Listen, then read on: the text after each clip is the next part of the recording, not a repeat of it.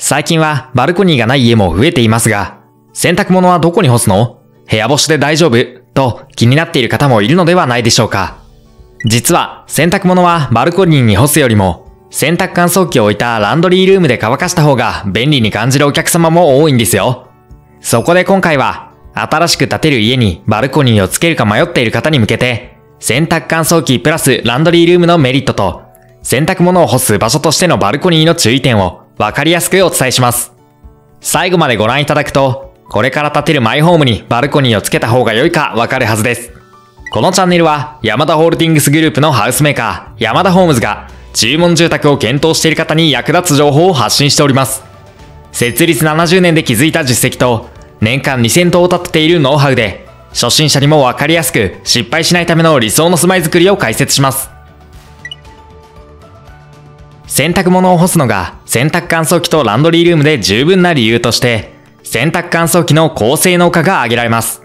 まず現在の洗濯乾燥機は、空気中の熱を取り出して洗濯物を乾燥させるヒートポンプ式に進化し、以前のヒーター式に比べ大きく省エネ化しています。また洗濯乾燥機で乾かすと、衣類がシワになるのではと心配される方もいるかもしれません。しかし今はドラムの中に風を起こして衣類に吹きかけ、衣類を大きく動かしてシワを伸ばす機能を持つ機種が増えています。こうした洗濯乾燥機なら、シワを抑えられるだけでなく、洗濯物がふんわり柔らかく仕上がるんですよ。洗濯物をバルコニーに干したらゴワゴワになっていたという経験を持つ方にとって、これは大きな魅力ではないでしょうか。一方、バルコニーに洗濯物を干す理由として、紫外線による殺菌効果を期待する方もいると思います。しかし、最近の洗濯乾燥機には、プラズマクラスターなど除菌と消臭の機能を備えたものもあるんですよ。しかも、外干しで受ける紫外線は、実は洗濯物の繊維を傷めてしまうのですが、洗濯乾燥機の除菌消臭なら、洗濯物を傷める心配がありません。他にも、洗剤や柔軟剤の量を自動で計算して入れてくれる機能や、乾燥で出るホコリをキャッチするフィルターを自動でお掃除する機能を持つ機種もあります。最新の洗濯乾燥機は乾かす性能がアップしているだけでなく、極力手間がかからない工夫もされています。高性能化した洗濯乾燥機を使えば、バルコニーに干すより気持ちよい仕上がりで、清潔に洗濯物を乾かすそうですね。次に洗濯物を干す場所としてバルコニーを考える上で見逃せないのが、洗濯物を運ぶのが大変、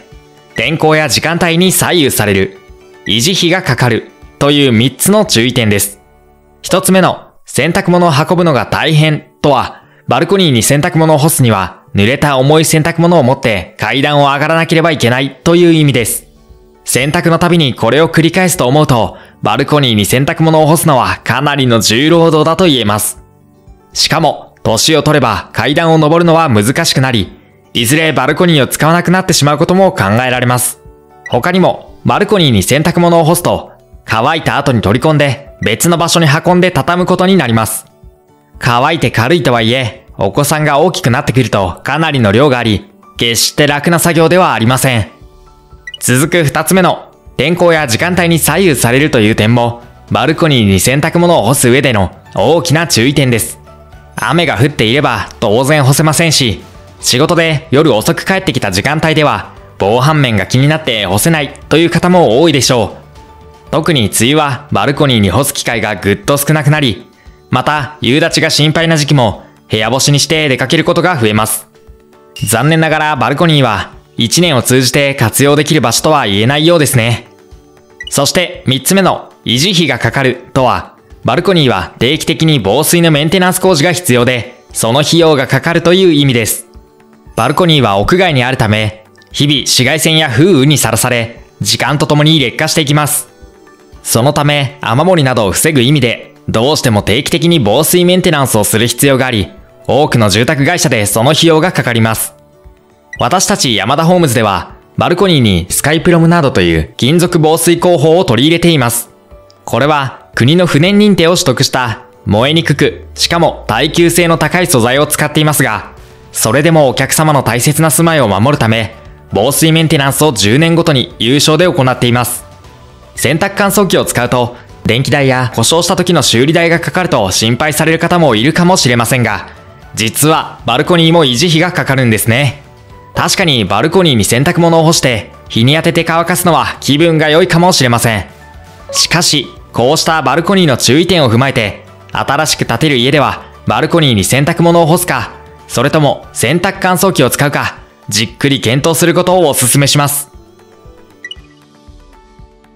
いくら洗濯乾燥機が省エネになっても、やはり電気代がかかります。そのため、洗濯物を干す時間があるときは、干して乾かしたいという方もいるでしょう。また、ニット類や厚手のジーンズなど、自然乾燥の方が適した衣類もあります。そこで、洗濯物を干す場所として、バルコニー代わりにおすすめしたいのがランドリールームです。ランドリールームとは、洗濯乾燥機を置く部屋を広めに作り、天井に物干し座をかけられる金具をつけ、洗濯が終わったらそこに洗濯物をさっと干せるようにした場所です。さらにその中に洗濯物を畳むスペースやタオル類などをしまう収納をつけることもあります。ランドリールームなら洗濯作業が楽になると近頃は検討する方が増えているんですよ。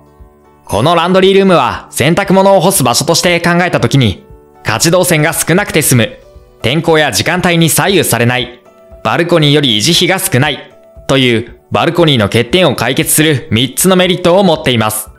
1つ目の家事動線が短くて済むとは、ランドリールームは洗濯する、干す、畳むという洗濯に関する一連の作業が一部屋で完結するため、家の中を動く距離が最小限で済むという意味です。濡れて重くなった洗濯物を持って階段を登る必要はありませんし、乾いた洗濯物を取り込み、畳むために広い部屋まで運ぶこともありません。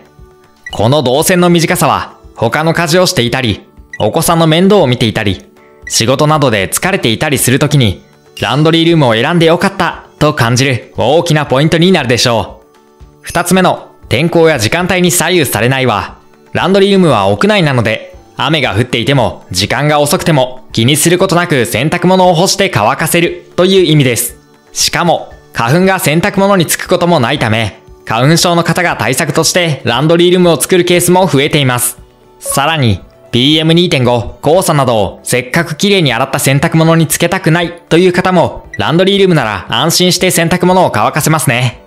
また、換気扇をつけておけば、ランドリールームに湿気がこもらず、嫌な部屋干しの匂いもつきにくくなるんですよ。三つ目の、バルコニーより維持費が少ないとは、バルコニーのように10年程度の短い間隔でメンテナンスは必要なく、維持費がほとんどかからないという意味です。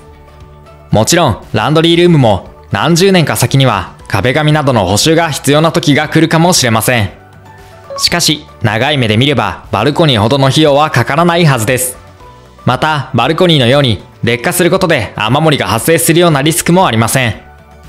こうしたランドリールームのメリットと、先ほどのバルコニーのデメリットを比べると、ランドリールームの方が快適に洗濯物を干せそうと感じるお客様も多いのではないでしょうか。しかも、ランドリールームに高性能化した洗濯乾燥機を置けば、洗濯という家事がそこで完結する上に、より柔らかく清潔に洗濯物を乾かせます。バルコニーと洗濯乾燥機プラスランドリールームのどちらに家の予算を当てた方が意味のあるお金の使い方になりそうか、一度ご家族でよく相談してみてはいかがでしょうか。今回は、洗濯物を干すのはバルコニーと洗濯乾燥機プラスランドリールームのどちらが良いかについてお伝えしました。まず、洗濯乾燥機の高性能化した点として、省エネ化している、シワがなく柔らかく仕上がる、除菌消臭効果がある、手間を減らす機能があるについて解説しました。さらに、バルコニーの注意点として、洗濯物を運ぶのが大変、天候や時間帯に左右される、維持費がかかる、の3つを、そしてランドリールームのメリットとして、家事動線が短くて済む、天候や時間帯に左右されない、バルコニーより維持費が少ないの3つをご紹介しました。現在はバルコニーを作らず、洗濯乾燥機やランドリールームを活用して、家の中で洗濯物を乾かす方も増えています。もちろん、バルコニーを作るお宅もたくさんあり、どちらが便利なのかは、お客様の使い方やライフスタイルによって変わります。今回お伝えしたそれぞれのメリットと注意点を改めて確認していただき、お客様にはどちらの方法が最適なのか、じっくりと検討してみてください。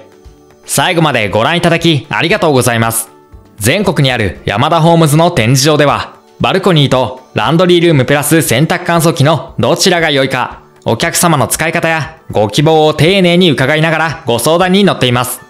また、お客様に合わせた最適な間取りもご提案していますので、概要欄のリンクからお近くの展示場を探していただき、ぜひ足を運んでみてください。